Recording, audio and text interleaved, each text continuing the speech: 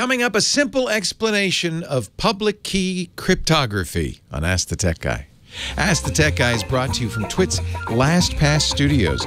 You're focused on security, but are your employees? LastPass can ensure they are by making access and authentication seamless. Whether they're working in the office or remotely, visit lastpass.com slash twit to learn more. This is Twit. This episode of Ask the Tech Guy is brought to you by LastPass.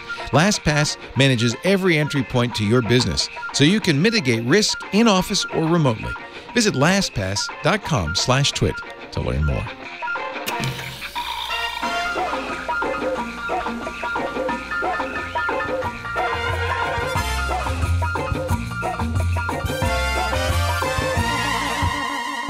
Hey everybody, Leo Laporte, Ask the Tech Guy.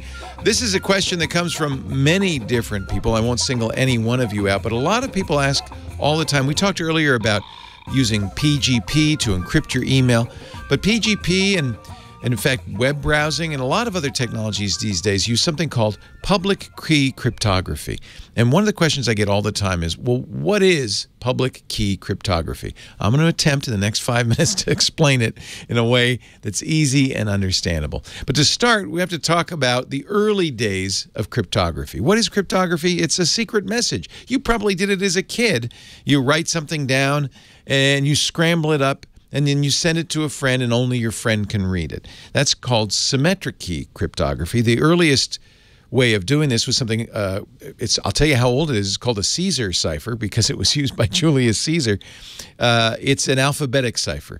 The alphabet, A through Z. You assign each letter a number, 1 through 26, and then you scramble it up. What you're doing is a transposition cryptography or transposition cipher is actually a better name for it. What you get is a scrambled up message, and you can easily then take a transposition cipher, write it down, and transpose it. There's two problems with this. The first problem is it's easy to decrypt. You don't even need a computer to do this. In fact, it's so easy that many newspapers for years, they might even still, I don't know, does anybody get a newspaper? Have crypto challenges in the newspaper where they give you an encrypted message and they say, see if you can figure it out. I used to love to do these as a kid. It's a very simple process.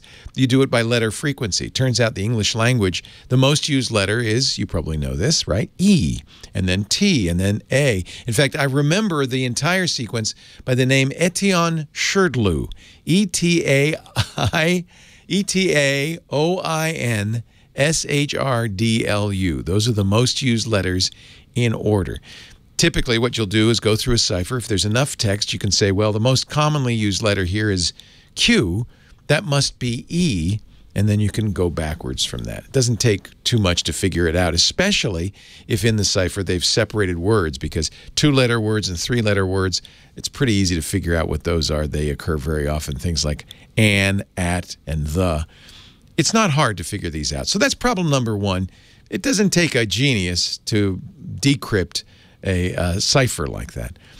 Problem, and by the way, with computers, you could brute force it. You could do it in milliseconds, very fast. Problem number two is it's what we call a symmetric key cipher. You use the same key to decrypt it as you use to encrypt it. And the problem lies in that you need to transmit not only the message, Julius Caesar would send one courier with the encrypted message, but you also have to transmit the key. Otherwise, your recipient won't know what to do with it. So he'd mm-hmm. send a separate courier with the key. Now, if both couriers are captured by the enemy, it's all over. It's easily decrypted. So you can see two big flaws with this kind of cipher, and that's because it's a symmetric key cipher. More modern ciphers are what we call public key ciphers. There's two keys. Public key crypto is a very clever mathematical strategy to generate two different keys. Each is a prime number. Each is a factor of one large number. You don't need to know how they create these keys. It's just math. But the point of the generation is it's a one-way process. You can't go in the other direction very easily. Someday, maybe computers will be fast enough to brute force public key crypto. But if your key is long enough, 128 bits or even better, 256 bits, it's going to take a massive computer, many millions of years to decrypt it. So we're not going to worry about that side of it. But this solves the problem of symmetric key crypto because there's two keys. I can publish and give you a public key. Everybody can have it because the public key is a one-way key. All it does is encrypt. It doesn't decrypt. Does that make sense? It turns a message into gobbledygook, but it can't read the key.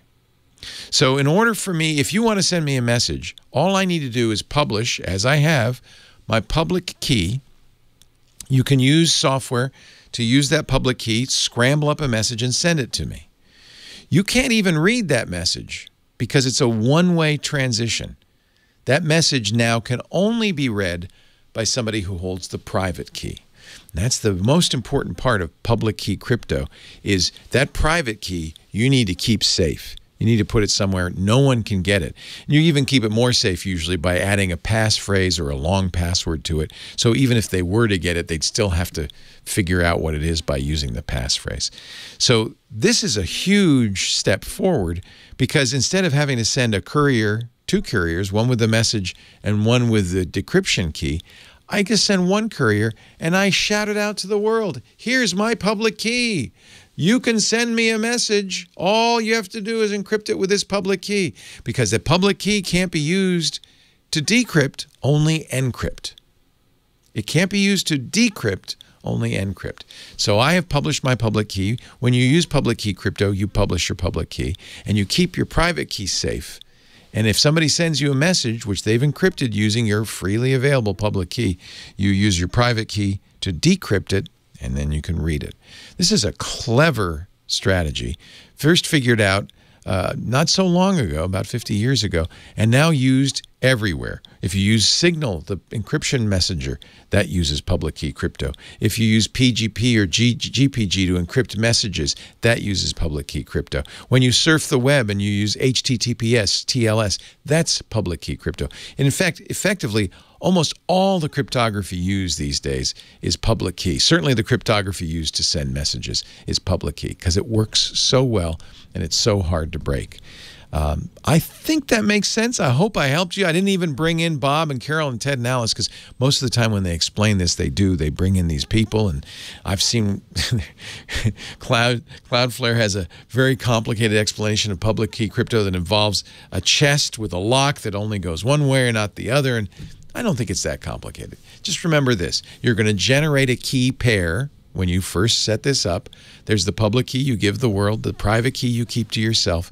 And now you can be sent messages. Similarly, if you want to send an encrypted message to somebody, all you have to do is say, what's your public key? In fact, usually you don't even have to ask them directly. Most people who've set up a public key have published it on the key servers. There's key servers all over the world. You type in their email address, it'll say, oh, here's their public key, and you can send them an encrypted message. In fact, why don't you try it? Download GPG Tools uh, and and search for Leo at leoville.com. That's my public key, and you can send me an encrypted message. If you do it right, I'll send your response back. And for extra points, attach your public key to that message. I'll even encrypt my message back to you. So that's public key crypto. Not too complicated. I hope you understand. And by the way, our sponsor LastPass uses strong encryption exactly this way to protect you. Only you can decrypt your LastPass password vault, no one else. LastPass is key to protecting your remote workforce. They can be a real security risk. LastPass lets you transition easily from in-office to in-home. It enables IT to remain in complete control over which employees are accessing what, no matter where. Employees can securely share passwords across teams, and it reduces the risk of phishing schemes by never auto-filling passwords on suspicious websites. Get simple security across every access point with LastPass. Visit LastPass.com slash twit to know more. LastPass.com slash twit. That's it for the Ask the Tech Guy this week. Thanks for joining me. If you've got a question, email Ask the Tech Guy at twit.tv. Maybe you'll be next week. See you then. Stumped on a nasty tech conundrum? Email Ask the Tech Guy at twit.tv.